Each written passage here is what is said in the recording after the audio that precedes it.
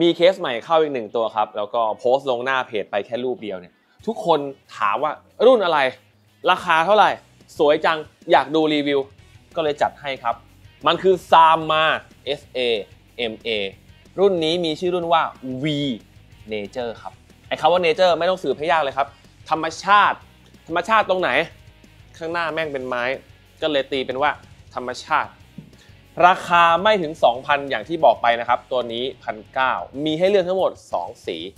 ถ้าเป็นเคสสีดำไม้ข้างหน้าจะเป็นสีโอเข้ม หรือบางคนเรียกว่าน้ำตาลก็ได้ครับ น้ำตาลเข้มได้หมดครับ แล้วแต่จะเรียกนะครับ เอาเป็นว่าถ้าเกิดเป็นเคสดำข้างหน้าเป็นไม้สีน้ำตาลเข้ม ถ้าเป็นเคสสีขาวลูกเด้งขึ้นมา ไม้ข้างหน้าจะเป็นสีบีชนะครับบีชคือสีไม้อ่อนๆ รือบางคนอาจจะเรียกว่าเป็นไม้อะไรนะไม้อัลมอนด์ไม้อะไรก็แล้วแต่ละกันเอาเป็นว่ามันเป็นสีไม้อ่อนถ้าเป็นเคสสีขาว ราคาเท่ากันนะครับ ถ้าจำไม่ผิดสีขาวเหมือนแพงกว่าร้อยหนึ่งมั้งประมาณนั้นนะครับอะดูตัวนี้ครับที่เป็นสีดำเพราะผมรู้สึกว่ามันเท่มันเข้มดี เริ่มจากด้านหน้ากันก่อนเลย ความไม้ที่หน้าเคสกันก่อนนะครับ ตรงนี้ผมเดาว่าน่าจะเป็นไม้ไผ่ สเปคเขาไม่ได้บอกมาหรอกว่าเป็นไม้อะไร แต่ดูแล้วเคาะแล้วนะครับ มันออกเป็นแนวแบบไม้บางๆ ไม่ใช่ไม้หนาคงไม่ใช่ไม้สัก ไม่ใช่ไม้มาค่า ไม่ใช่ไม้เตงอะไรแน่ๆ เป็นไม้ราคาถูกนี่แหละ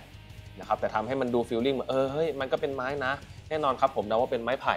ใช้สีอย่างที่บอกคือสีน้ำตาลเข้มน่าจะเป็นการเคลือบนะครับทาแล้วก็เคลือบแฉลกมาอีกทีหนึ่งและความเป็นไม้ที่ด้านหน้าอะมันมีทั้งหมด 10 เส้น 10 ระแนงก็เป็นระแนงแนวตั้งนี่แหละ และด้านบน ก็สุดขอบบน ด้านล่างไม้ก็ลากมาเลย สุดขอบล่าง ไม่มีการแบ่งนะครับไม่มีการแบ่งว่าเฮ้ยข้างล่างเป็นเมชเป็นตะแกรงนะแล้วไม้ครึ่งเดียวอะไรอย่างนี้ไม่ใช่ จากบนถึงล่างยาวสุดๆ10 เส้น 10 ระแนง ทีนี้เรื่อง I.O. หน้าเคสครับ ไม่อยากจะเชื่อเหมือนกันว่าเคสราคาเนี้ยไม่ข้าม 2,000 เนี่ยอะทอน10 บาทแล้วกันประมาณนั้นนะฮะแม่งจะมี Type C มาให้ด้วย มี USB นะครับ Type A 2 ช่อง 3.0 แล้วก็ Type C 3.0 เหมือนกัน combo jack 3.5 ไอ้ช่องนี้ที่เขียนว่า LED เนี่ยมันเป็นสวิตช์นะครับ ไม่ใช่เป็นหลอดไฟนะครับ เป็นสวิตช์กดลงไปในการปรับไฟปรับไฟอะไรเดี๋ยวค่อยว่ากัน ไม่มีสวิตช์ไม่มีสวิตช์ resetมีสวิตช์นี้ครับ power on off มาให้ ถือว่าครบถ้วนครับ บ้าบอเคสราคานี้แม่งมี Type C ทีนี้ดูด้านในกันต่อ form factor ครับ ที่สามารถใส่เมนบอร์ดได้คือ A T X ลงไป E ไม่ต้องสืบครับ กว้างเกิน ยาวเกิน ใหญ่เกิน นะครับ เดี๋ยวสายเนี่ยมันจะลอดตรงนี้ไม่ได้ มันจะติดนะฮะ ความยาวการ์ดจอครับ ผมไม่ได้วัดหรอกนะครับ แต่วัดให้ดูหน่อยแล้วกัน ว่ามันใส่การ์ดยาวสุดๆ ได้แค่ไหน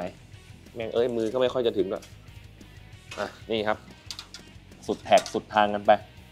เอาแบบยาวสุดแบบไม่มีพัดลมข้างหน้านะ ผมตีไว้สัก 41 42เนี่ยแต่ถ้ามีพัดลมก็ให้ยาวสัก 38 37 ประมาณนี้ อะ 37 36 ก็แล้วกัน ดูตามความเหมาะสมนะครับ อย่าไปฝืนมันเยอะ แล้วการ์ดจอเดี๋ยวนี้ก็ไม่ได้ยาวอะไรขนาด 36 37 ขนาดนั้น ยกเว้น 80 Super ยกเว้น 90 ใหญ่ๆ ขนาดนั้น แล้วผมเชื่อว่าคนเล่นการ์ดจอระดับนั้นเนี่ยมันน่าจะมีงบมากกว่าเคสตัวนี้ไปแล้ว ตัวนี้เป็นเคสราคาประหยัดนะครับ การ์ดจอระดับ 280 320เนี่ยใส่เหลือๆสบายๆส่วนเรื่องพัดลมอธิบายง่าย ๆนะครับ ในตัวเคสมี pre-install หรือว่าติดตั้งมาให้แล้วเนี่ยทั้งหมด 4 ตัว ก็คือแถมมากับเคสเลย ราคานี้แม่งแถมพัดลมด้วย ข้างหน้าให้มา 3 ข้างหลังให้มาอีกหนึ่งและแน่นอนครับ เป็นพัดลมแบบ ARGB ดูดเข้า 3 ดูดออกหลังอีก 1 เป็น 4 ตัว และที่สำคัญ นอกจากพัดลมที่ให้มาแล้ว ในเมื่อมันเป็น ARGB นะครับ มีฮับมาให้ด้วย บ้าไปแล้วปะ สายข้างหลังมันอาจจะแบบยุ่ยเยี่ยยุ่ยเยี่ยหน่อยนะครับอันนี้แบบนี้มาจากโรงงานเลยคุณไปเก็บสายกันเอาเองนะครับหรือจะให้เราทำให้ก็จัดให้อยู่แล้ว มี hub มาให้ และอย่างที่บอกไอ้สวิตช์ LED ด้านหน้า ที่เขียนว่า LED เล็กๆเนี่ยนี่แหละครับมันเป็น sync กับ hub นี้เอาไว้ปรับเอฟเฟกต์ปรับไฟ หรือจะ sync โหมดเมนบอร์ดก็ได้เหมือนกัน ทีนี้ครับเอาด้านหน้าต่อก่อนนิดนึง การติดตั้งพัดลมถ้าเกิดเราไม่ไม่สนใจพัดลมที่มันให้มาเลยนะครับ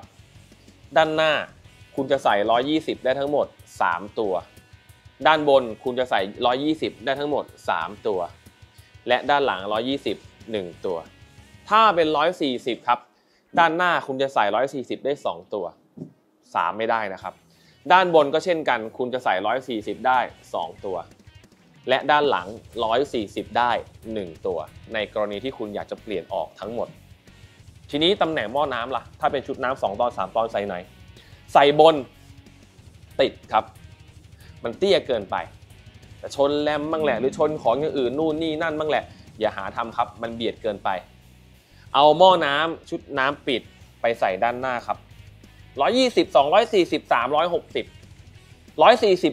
280 ตามสะดวกได้เลย แต่เอาหม้อน้ำไว้ด้านหน้าเถอะ ในเมื่อเขาเว้า cover power supply มาให้แล้วตรงนี้ เอาหม้อน้ำไว้ด้านหน้า ถ้ารวมหม้อน้ำความหนาบวกพัดลม มันก็จะอยู่ประมาณสัก ประมาณนี้ เพราะฉะนั้นการ์ดจอที่วัดให้เมื่อสักครู่นะครับ 320 330 เนี่ยเหลือๆสบายๆในเมื่อมีหม้อน้ำหรือมีชุดน้ำติดข้างหน้า ถัดมาอ้าวช่องในการลอดสายไฟครับ 1 ช่อง 4 นิ้วลอด จักจักจักนะครับ ช่องที่ 2 ก็ 4 นิ้วลอด จักจักจักช่องที่ 3 ครับ 4 นิ้วลอด จักจักจักอันนี้คือโซนใต้เมนบอร์ดมีทั้งหมด 3 ช่อง และตรงนี้ ช่องลอดสายไฟเลี้ยงให้การ์ดจอ มีอีกหนึ่งช่องใหญ่ๆ 4 นิ้วกว่าๆลอดได้สบายๆ เป็นแบบนี้นะครับ cover ตรงนี้ไม่ได้ปิดทึบนะครับ เป็นรูตะแกรงลายรังผึ้ง มองผ่านไปได้ ลมเข้าได้อากาศไหลผ่านได้ เป็นแบบนี้ ถามว่ามี vertical เพื่อมารองรับการ์ดจอแนวตั้งไหม ไม่มีนะครับ คุณต้องหาขาแปลงเองถ้าเกิดคุณจะใส่แบบ vertical เคสนี้เน้นในเรื่องของการเสียบหรือว่าการใส่การ์ดแบบแนวนอนปกติเลย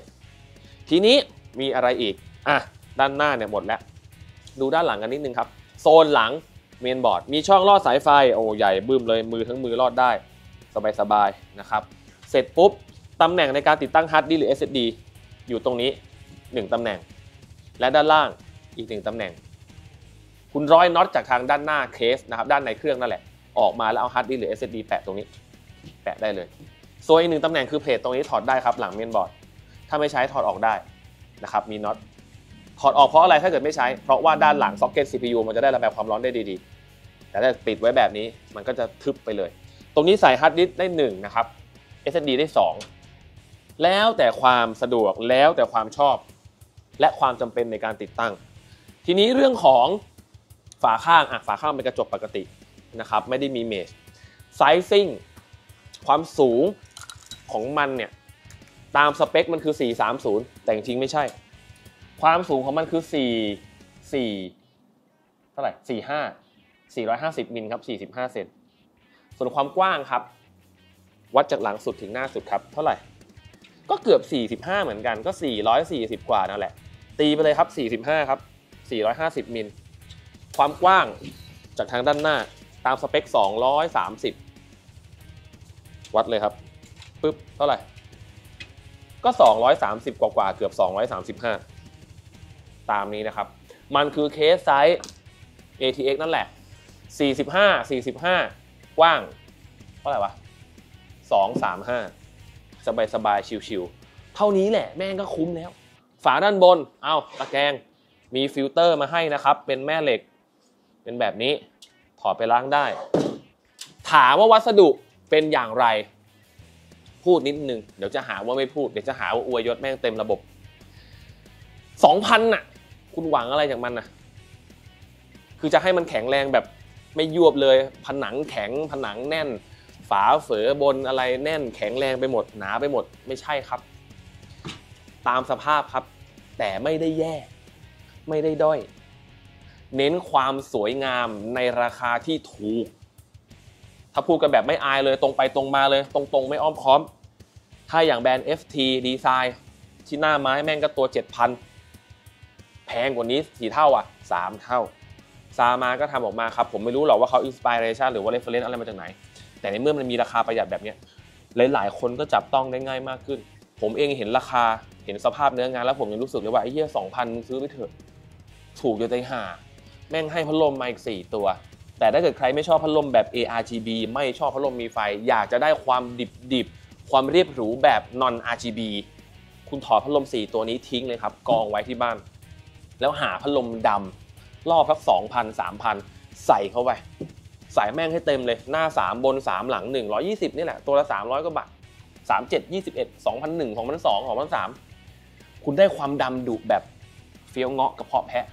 เดี๋ยวผมจะลองเปลี่ยนให้ดู แล้วลองไปตามดูที่หน้าแฟนเพจคอมมิกนะครับว่า ถ้าเป็นพัดลมดำล้วน ทั้งหมดเลยหน้าสามบนสามหลังหนึ่งแม่งจะออกมา feel ไหน อย่างน้อยแหละ สายหลังเครื่องก็น้อยลงนะครับเพราะว่าถ้าเป็นพัดลมแบบไม่มีไฟนอน RGB เป็นพัดลมดำเนี่ยใส่เจ็ดตัวก็จะมีแค่สายเจ็ดเส้น แต่อันเนี้ยหน้าสามหลังหนึ่งพัดลม ARGB ก็จะมีสายทั้งหมด 4 ตัวคูณ 2 ก็จะเป็น 8 เส้น แม่งเยอะกว่าพัดลม 7 ตัวอีก สายอะอะ ตามนี้นะครับ ฝากเอาไว้นะครับหน้าร้านประมาณพันเ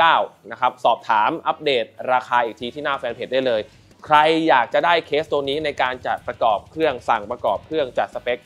ทักมาคุยได้เลยครับ เป็นอีกหนึ่งตัวเลือกที่โคตรน่าสนใจ ใครชอบสีขาวก็บอกได้นะครับ ย้ำอีกครั้งว่าถ้าเป็นเคสดำหน้าไม้ข้างหน้าจะเป็นน้ำตาลเข้ม ถ้าเป็นเคสขาวหน้าไม้ข้างหน้าจะเป็นสีบีชสีไม้อ่อน ฝากไว้เท่านี้ขอบคุณซามาขอบคุณโดราคูครับตัวแทนนำเข้าซามาอย่างเป็นทางการในประเทศไทยคอมมิกสโตร์พหลโยธิน 72 อยากได้เครื่องแบบไหน อยากได้คอมแบบไหน อยากได้งานเนียบๆจัดนิ่งๆ ให้แบบเต็มระบบคอมมิกส์รับจบนะครับ ลาไปก่อน สวัสดีครับ